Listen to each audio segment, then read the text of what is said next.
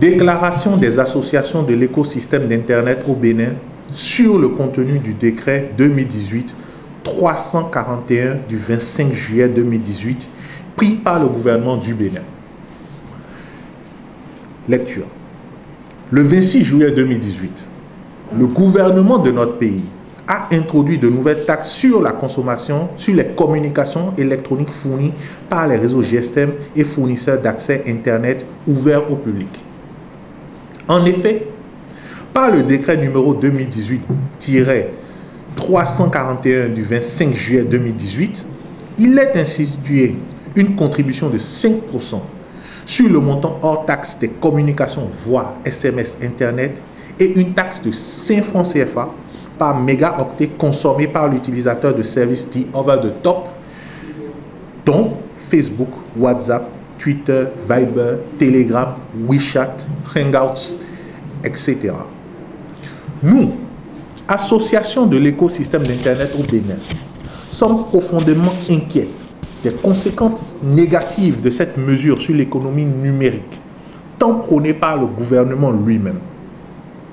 Le dit décret est en incohérence avec les efforts du gouvernement dans le secteur du numérique. Car, au-delà des revenus immédiats que l'État pourrait tirer de cette taxation, cette mesure conduira à une déstructuration de la dynamique actuelle dans le secteur. Par ailleurs, et à la lumière des clarifications apportées par le ministre de l'économie numérique et des finances, le décret numéro 2018-341 du 25 juillet 2018 constitue une menace réelle pour la liberté d'expression, l'innovation numérique, la réduction de la fracture numérique et la neutralité du réseau dans notre pays, pourtant reconnu pour sa tradition historique de démocratie. Ce décret est également contraire aux engagements internationaux de notre pays notamment la décision des Nations Unies de 2011 reconnaissant l'accès non discriminé à Internet comme un droit humain fondamental ainsi que les objectifs pour le développement durable, excusez-moi, ODD, précisément au dispositif de la cible numéro 9 des ODD.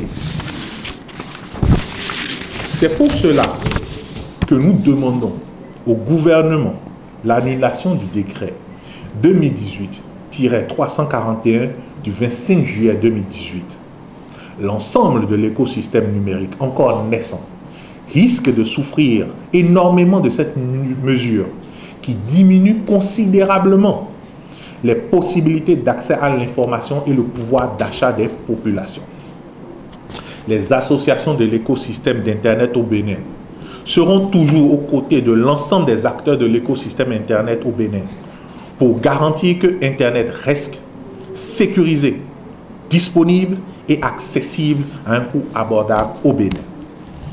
Fait à Cotonou, le 4 septembre 2018, ont signé le président de l'association ISOC Bénin, le président de l'ONG Igbanet, le président de l'association béninoise pour la cybersécurité et la promotion du numérique, le président du FGI Bénin, le président de l'association des blogueurs du Bénin, le président du REPROMED, le président, la, madame la présidente, excusez-moi, du Google Developer Group Bénin.